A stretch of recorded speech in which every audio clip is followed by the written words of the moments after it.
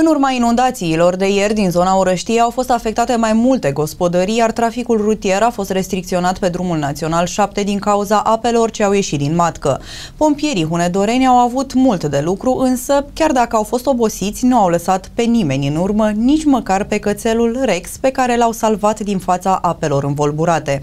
Și, de bucurie, pompierii i-au compus și câteva versuri.